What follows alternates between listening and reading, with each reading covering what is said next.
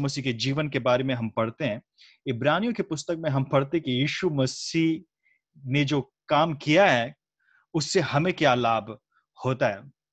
सो आज हम देखेंगे हमारे लिए क्या उत्तम बातें प्रभु यीशु मसीह। बहुत सारी बातें नहीं, बस चार मुख्य बातों को हम देखेंगे। उससे पहले याद रखें, इब्रानियों की पत्री में यीशु मसीह को सर्वोच्च बताया गया। आज भी बहुत सारे ऐसे पंथ लोग हैं जो सोचते हैं कि यीशु मसीह केवल एक मनुष्य था, जो परमेश्वर नहीं था। लेकिन यदि आप इब्रानियों की पत्री, उसका पहला अध्याय और दूसरा अध्याय दोनों पढ़ेंगे, आपके पास यदि बाइबल है तो आप खोल सकते हैं पहला अध्याय। उसका उसका पहला पद और दूसरा पद में लिखा गया है कि परमेश्वर ने पूर्व में अनेक प्रकार से अनेक भविष्यवक्ताओं के द्वारा बाप दादों से बात किया लेकिन आज अंतिम दिनों में अपने पुत्र के द्वारा बात बात किया।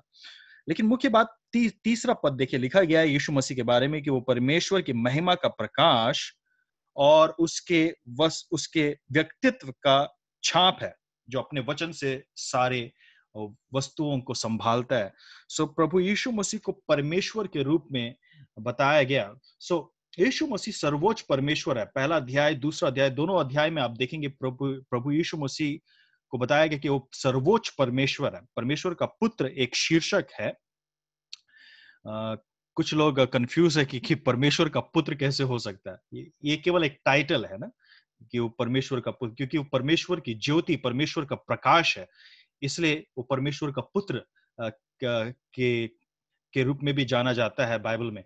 सो so, सर्वोच्च परमेश्वर है ना केवल सर्वोच्च परमेश्वर है लेकिन परमेश्वर परमेश्वर का सर्वोच्च प्रकाशन भी है। बाइबल में हम कई प्रकाशन को देखते हैं प्रकृति को देखकर हम प्रभु के बारे में जान सकते हैं कि हमारा सृष्टिकर्ता कैसा है। हमारा सृष्टि कोई जीव जंतु जैसा नहीं है कोई मछली जैसा नहीं है या कोई आ, आ, कोई आ, कोई जंगल के जानवर जैसा नहीं है हमारा परमेश्वर इन सारी बातों का सृष्टि करता है, इन सारी बातों से बढ़कर है। इस इस बात की, का ज्ञान हमें प्रकृति को देखकर मिलता है, हमें बाइबल पढ़ने से परमेश्वर का प्रकाशन मिलता है, लेकिन लेकिन हम हम परमेश्वर का सर्वोच्च प्रकाशन यीशु मसीह में तब देखते हैं जब लिखा गया, वचन देहधारी हुआ, शरीर में आया। हमने उसे अपने आँखों से देखा। इस प्रकार से उसके शिष्यों ने कहा सर्वोच्च दैव प्रकाशन, वो सर्वोच्च महायाजक अर्थात पुराने नियम में जो महायाजक थे, हारून के वंश से, उनसे बढ़कर है। ये बहुत मुख्य था क्योंकि यीशु मसीह ने यहूदियों को कहा था कि जब मेरा शरीर या उसने कहा, इस मंदिर को गिरा दो, मैं इसे तीन दिन में खड़ा करूँगा। अर्थात वो अपने शरीर के बारे में बता रहा था। यहूदी लोग अभी भी वो मंदिर से बंधे हुए थे। प्रभु ने चाहा था कुछ किसी दिन मैं थर्ड टेंपल के बारे में बताऊँगा। आज भी यहूदी लोग जो यीशु मसीह को ग्रहण नहीं करते, स्वीकार नहीं करते, वो लोग इंतज़ार कर रहे कि एक तीसरा मंदिर बनाए। अभी उनके पास कोई मंदिर नहीं है ना? सारे दुनिया के सारे धर्म के लोगों के पास मंदिर है, लेकिन यहूदी धर्म में अभी मंदिर नहीं है। क्योंकि उनका मंदिर को सत्तरवे ईस्वी में टाइटस, जनरल टाइटस ने जला दिया। खत्म कर दिया। जिस प्रकार यीशु मसीह ने भविष्यवाणी किया कि एक पत्थर के ऊपर एक दूसरा पत्थर भी नहीं रहेगा पूरी तरह से वो मंदिर ढा दिया गया था। सो so, अभी उनके पास कोई मंदिर नहीं है so, इसलिए आराधना करने के लिए कोई मंदिर नहीं है तो वो अभी तैयारी कर रहे हैं कि तीसरा मंदिर को इसका भविष्यवाणी बाइबल में किया गया है। सो वो उस याजक पद को आज भी वो सोचते हैं कि वही सर्वोच्च है ले लेवी के वंश के जो लोग हैं वही याजक बन सकते इस प्रकार। लेकिन इब्रानियों के पत्री को आप पढ़ते हैं तो बहुत स्पष्ट रूप से बताया गया कि यीशु मसीह हारून से बढ़कर महा, बड़ा महायाजक क्योंकि यीशु मसीह का महायाजक पद असली है। वो कोई छाया के समान परछाई के समान नहीं लेकिन असली है और हमेशा सदा सर्वदा स्थापित रहेगा। हारून जब बलिदान चढ़ाता था तो उसका बलिदान केवल एक वर्ष के लिए केवल कायम रह सकता था, लेकिन यीशु मसीह का बलिदान हमेशा के लिए के लिए वो कायम है। इस कारण से ना केवल वो सर्वोच्च परमेश्वर सर्वोच्च दैव प्रकाशन, सर्वोच्च महायाजक, लेकिन सर्वोच्च बलिदान भी है और हमारा हमारा सर्वोच्च उद्धार करता है।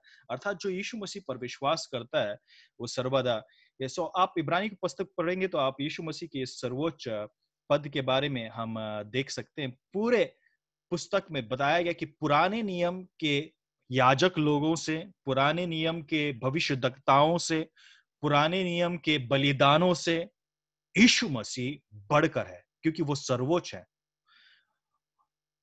तो यीशु मसीह सर्वोच्च है तो वो हमारे लिए क्या लेकर आया है, हम जल्दी से देखेंगे। केवल चार बातें आप स्मरण रख सकते हैं। लिखा गया है इब्रानी छह अध्याय, उसका नौवा पद में कि, हे प्रियो, यद्यपि हम ये बातें कहते तो भी तुम्हारे विषय में हम इससे अच्छा और उद्धार वाली बातों का भरोसा करते अर्थात, परमेश्वर ने हमारे लिए कुछ बहुत ही उत्तम बातों को रखा इब्रानियों ग्यारह का चालीस में लिखा है क्योंकि परमेश्वर ने हमारे लिए पहले से एक उत्तम बात ठहराई है।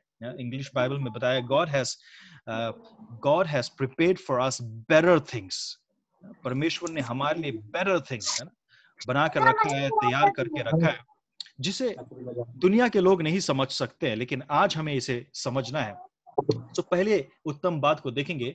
इब्रानियों बारह का चौबीस में लिखा गया है कि यीशु मसीह नई वाचा का मध्यस्थ है और छिड़काव के उस लहू के पास यीशु मसीह के छिड़काव के लहू के बारे में बताया गया, यीशु मसीह ने अपने लहू के द्वारा हमें जो छुटकारा दिया गया, दिया है, उस लहू के बारे में बताया जा रहा है कि वो लहू हाबिल के लहू से उत्तम बातें करता है। हमारे लिए एक उत्तम संदेश है जो यीशु मसीह के लहू के द्वारा सुनाई देता है। देखिए, पुराने नियम में आप देखते हैं, हाबिल और कैन, आदम और हवा के संतान थे और कैन को बहुत गुस्सा आया, हाबिल के ऊपर वो चिढ़ गया था क्योंकि परमेश्वर ने हाबिल के सैक्रिफाइस को हाबिल के बलिदान को ग्रहण किया क्योंकि हाबिल विश्वास से प्रभु को ऑफरिंग दिया। देखिए यदि हम विश्वास से परमेश्वर को कुछ भी देते हैं तो प्रभु उसको स्वीकार करता है।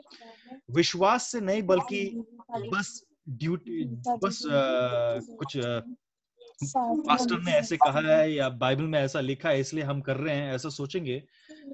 तो लिखा गया जो परमेश्वर के पास आता है उसे विश्वास रखना चाहिए कि वो है। और जो उस पर विश्वास करता है उनको वो प्रतिफल देता है। इस यदि इस बात का विश्वास हमारे हृदय में नहीं है तो हम प्रभु को कुछ दे भी नहीं सकते। सो so, हाबिल ने विश्वास के साथ परमेश्वर को को ऑफरिंग दिया बलिदान दिया परमेश्वर ने उसे आशीष दिया। इस देख इस चीज़ को देख कर कैन बड़ा चिड़ गया और कैन ने हाबिल को मार डाला। जब हाबिल को उसने मार डाला तो बाइबल में लिखा गया कि हाबिल का लहू बदला के लिए या न्याय के लिए पुकार रहा था। परमेश्वर को पुकार रहा था और परमेश्वर ने आकर कैन को पनिश किया कैन को दंडित किया। सो so, ये हाबिल के लहू के बारे में हम देखते हैं। नया नियम में लिखा गया है इब्राहियों के बारह का चौबीस में कि यीशु मसीह का लहू रिवेंज नहीं मांग रहा है। यीशु मसीह का लहू बदला का पुकार नहीं करता। यीशु मसीह का लहू किस बात का पुकार? कर सोचिए, परमेश्वर यीशु मसीह का लहू कौन सी उत्तम बातें कर रहा है? हाबिल का लहू चिल्ला रहा था, मुझे बदला चाहिए, मुझे मुझे न्याय चाहिए। हाँ? जिसने मुझे मारा है, उसको दंड दो, उसको दंड दो। ये हाबिल का लहू चीख चीख कर बुला, पुकार रहा था। यीशु मसीह का लहू क्या पुकारता है? ये उत्तम ये उत्तम वचन हम नया नियम में देखते हैं। इब्रानियों के पत्र में लिखा गया है यीशु मसीह का लहू हमारे क्षमा की याचना करता है। यीशु मसीह ने क्रूस पर भी जिस प्रकार से क्षमा याचना किया यीशु मसीह का लहू क्षमा की याचना करता है। यीशु मसीह हमारी क्षमा के लिए पुकारता है। ये हम नया नियम में देखते हैं। सो so, दूसरी बात हम देखते हैं बहुत जल्दी से। दूसरी बात यीशु मसीह का उत्तम बलिदान पुराने नियम के बलिदानों से भी उत्तम है। लिखा गया है इब्रानियों नौ का तेईस में इसलिए अवश्य है कि स्वर्ग में की वस्तुओं के प्रतिरूप इनके द्वारा शुद्ध किए जाएँ पर स्वर्ग में की वस्तुएँ आप इनसे उत्तम बलिदानों के द्वारा। सो so, पुराने नियम में वो बलि चढ़ाते थे, भेड़ का बलि चढ़ाते थे, कबूतर का बलि चढ़ाते थे और उसका लहू को ले जाकर वो मंदिर में, भीतर में जो वाचा का संदूक था, उस पर छिड़कते थे। यदि आप पुराने नियम को पढ़ेंगे। और एक साल के लिए, वो कहते थे, एक साल के लिए अब लोगों के पापों की क्षमा हो गई है। इस प्रकार वो विश्वास करते थे।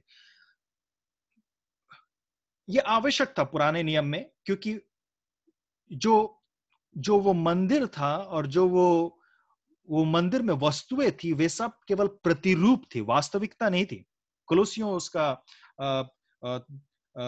कुलोसियों की पत्री में लिखा गया है कि ये सारी बातें परछाएँ हैं लेकिन वास्तविकता यीशु मसीह है। सो so, ये सारी परछाई की जब तक यीशु मसीह नहीं आया इन सारी बातों को शिक्षक के रूप में ताकि इनके द्वारा लोगों को समझ में आए कि बलिदान का महत्व क्या है है ना? सारे धर्मों में आप देखते हैं, बलिदान का एक प्रतिरूप पाया जाता है। ये सारे धर्मों को परमेश्वर तैयार कर रहा था कि वो यीशु मसीह को समझे, लेकिन दुख की बात है कि जिस प्रकार यहूदी धर्म के लोगों ने भी यीशु मसीह को रिजेक्ट कर दिया, ठुकरा दिया और वो परछाई में रह गए और अपने कर्म कांड में ही बंधे रह गए और उसी उसी में ही रहकर सोचने लगे कि इन्हीं के द्वारा उद्धार मिलेगा। दुख की बात है कि उस प्रकार संसार में हो रहा है, लेकिन यीशु यीशु मसीह का बलिदान इन सारी बातों से उत्तम है। क्यों? क्योंकि प्रभु यीशु मसीह का लहू, इब्रानियों नौ का अध्याय में आप देखते हैं, उसने पवित्र आत्मा के द्वारा प्रभु को चढ़ाया बलिदान। और ये उत्तम बलिदान है क्योंकि एक बार का बलिदान है। हमेशा फिर फिर से बलिदान की ज़रूरत नहीं है। इसलिए अब कोई बलिदान देने की ज़रूरत नहीं है आ, कोई भेड़ बक, भेड़ बकरी या कबूतर इन सारी बातों को बलि देने की और ज़रूरत नहीं है। क्यों? क्योंकि यीशु मसीह का बलिदान हमेशा के लिए स्थिर है। सो यीशु मसीह का बलिदान उत्तम है। ना केवल इस इस बात की उत्तमता रखता है कि वो हमें क्षमा प्रदान करता है बल्कि वो हमें नया जीवन देता है। उस लहू के द्वारा हम एक नया जीवन प्राप्त करते हैं। सो uh, उत्तम बलिदान। तीसरी बात एक उत्तम वाचा उसने इस इस लहू के द्वारा बनाए आप यदि पुराने नियम में देखेंगे तो लहू का वाचा के बारे में बताया गया कि सबसे बलवान एक वाचा था।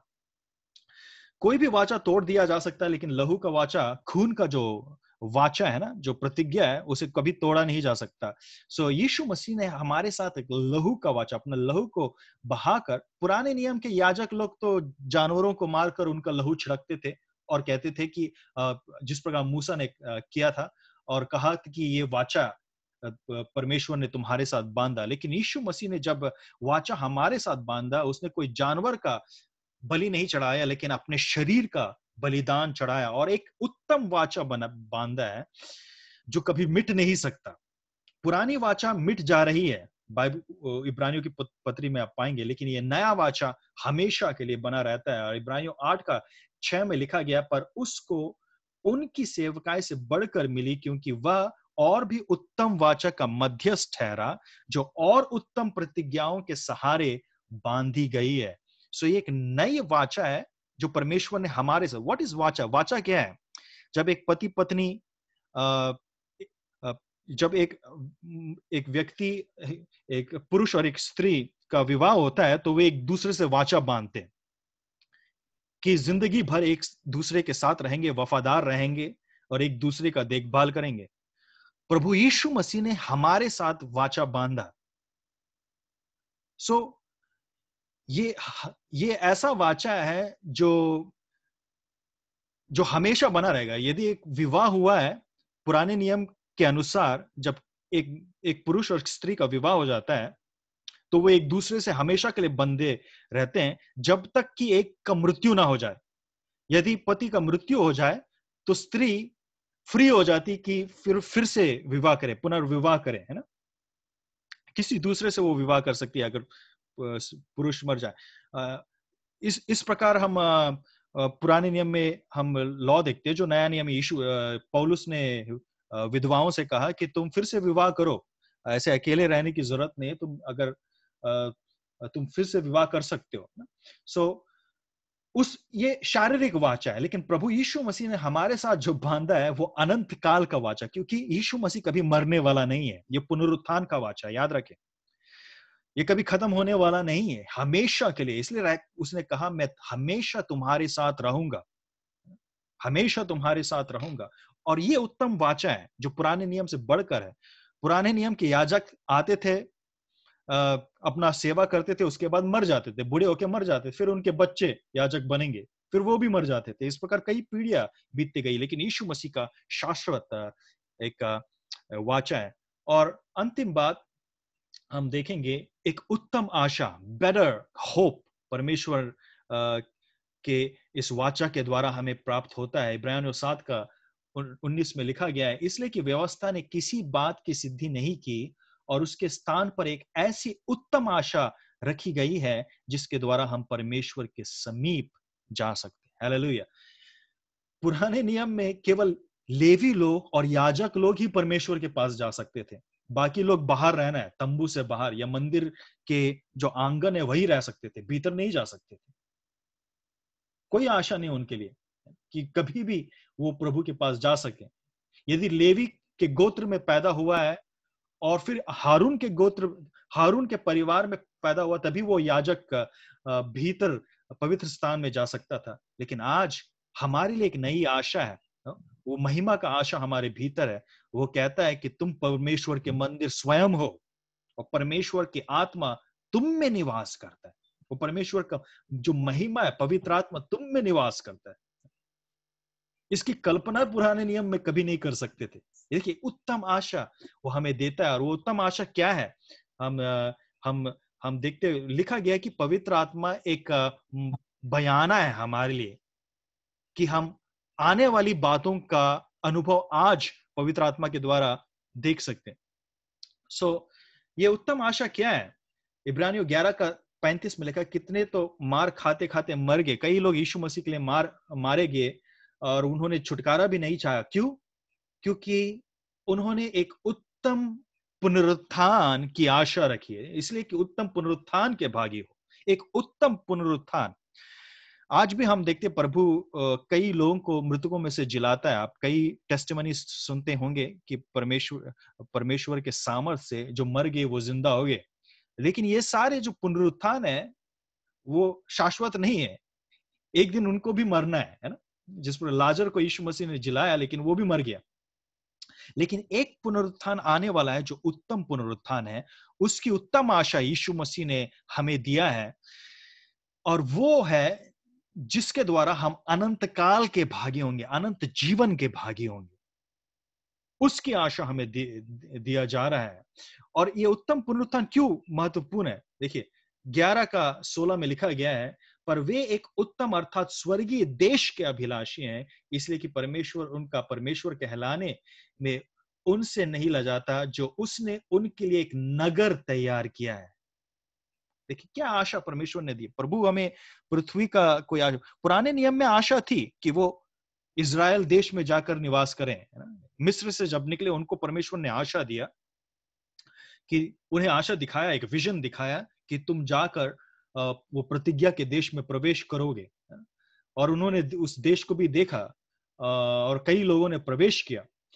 लेकिन प्रभु हमें एक नया दर्शन दिखा रहा है आज। प्रभु हमें वो स्वर्गीय देश दिखा रहा है जिसको वो तैयार कर रहा है हमारे लिए तैयार कर रहा है जिसको बनाने वाला परमेश्वर है जिसको बनाने वाला कोई इंसान नहीं है जो, कोई इंसान का प्रोजेक्ट नहीं है कोई इंजीनियर कोई कंपनी का प्रोजेक्ट नहीं है ये परमेश्वर स्वयं का प्रोजेक्ट है जो आपके लिए और मेरे लिए उसने रखा है। और वो प्रभु यीशु मसीह के कारण हुआ है ये हारून के कारण नहीं या पुराने नियम के कारण। और इब्रानियों दस का चौ चौतीस में लिखा गया है ये ये इंपॉर्टेंट जैसे ध्यान से सुने। क्योंकि तुम कैदियों के दुख में भी दुखी हो, हुए और अपनी संपत्ति भी आनंद से लुटने दी, यह जानकर कि तुम्हारे पास एक और भी उत्तम और सर्वदा ठहरने वाली संपत्ति है। पुराने नियम में जो आशीष लोगों को मिलता था, वो भौतिक वस्तुओं के रूप में अक्सर मिला करता था, ना? सुलेमान को परमेश्वर ने बहुत धन दिया, बुद्धि दिया, लेकिन साथ में बहुत धन दिया। और पुराने नियम में आशीष, ज़्यादातर यदि आप देखते हैं, आशीष धन के रूप में लोगों को प्राप्त होता था। ये नया नियम में भी है, क्योंकि हम नया नियम में भी देखते हैं कि यीशु मसीह ने कहा, स्वर्गराज की खोज करो और ये सारी बातें तुम्हें मिल जाएगी। और लिखा गया यदि तुम माता पिता का आज्ञाकारी बनोगे तो पृथ्वी पर लंबी आयु तुम जियोगे। ये ये आशीष हैं, लेकिन इससे उत्तम और एक आशीष हमारे लिए है। एक उत्तम संपत्ति है, क्योंकि संसार की जो संपत्ति है, वो मिटते जा रही है। हमेशा शाश्वत नहीं रहेगी, लेकिन एक संपत्ति जो हमेशा बनी रहेगी, और वो स्वर्गीय स्थान में लिखा है, इब्रानियों दस का चौ, चौतीस में, या जानकर कि तुम्हारे पास एक और भी उत्तम और सर्वदा ठहरने वाली संपत्ति है, इसलिए संसार की वस्तुओं को पकड़े मत रहो। जो धनवान है वो धन पर गर्व ना करे या घमंड ना करे क्योंकि ये मिटती जाती है। लेकिन इनके द्वारा बुद्धिमान वो व्यक्ति है जो इन धन के द्वारा सांसारिक धन के द्वारा स्वर्गीय धन को खरीद लेता है। ये कैसा हो सकता है? यीशु मसीह ने कहा संसार में तुम धन मत छुप छुपाओ जहाँ पर कीड़े लग जाते हैं जंक लग जाता है। लेकिन तुम स्वर्ग में अपना धन छिपाओ और, और मैं आपको गलतियों छठवा अध्याय, आप देख सकते गलतियों छठवा अध्याय, उसका छह पद से दस पद विशेष रूप से आप सात पद से देखेंगे, लेकिन हम छह पद से पढ़ें, जो वचन की शिक्षा पाता है, वह सब अच्छी वस्तुओं में सिखाने वाले को भागी करें।